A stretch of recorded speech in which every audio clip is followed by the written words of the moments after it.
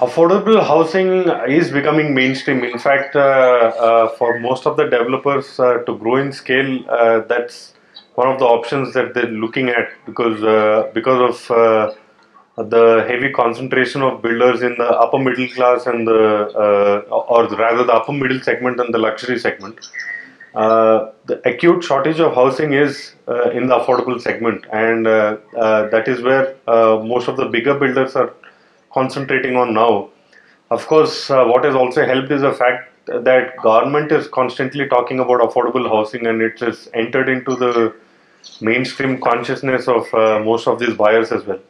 And uh, a lot of uh, uh, buyers uh, coming in into this segment with their first jobs and it is becoming a viable option because of this scale in buying that is coming in into the market.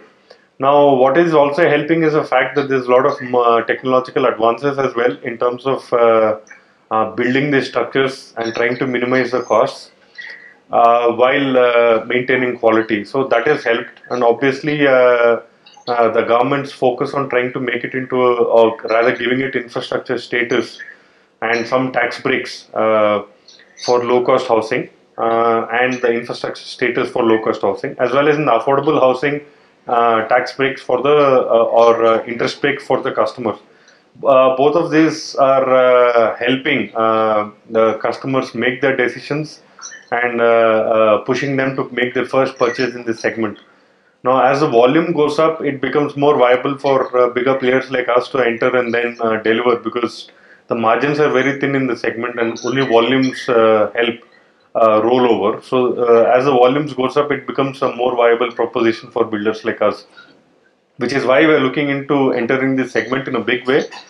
Uh, we are uh, uh, planning to uh, come up with close to 5 million square feet, which we should probably announce in the next six to eight months for this particular segment in Hyderabad.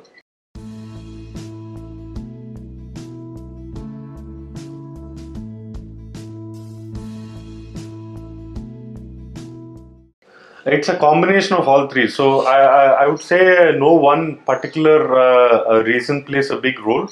Each has its own place in, in terms of making this market a viable proposition for builders.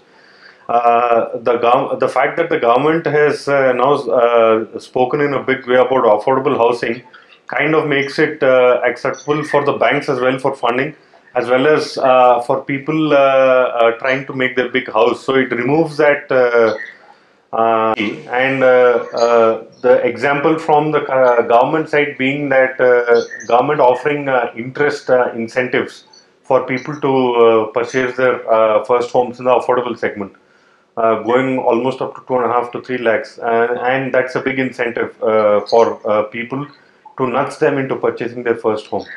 And when bigger players enter, that quality aspect is taken care of, and the certainty for the bankers also uh, in terms of completion of the project.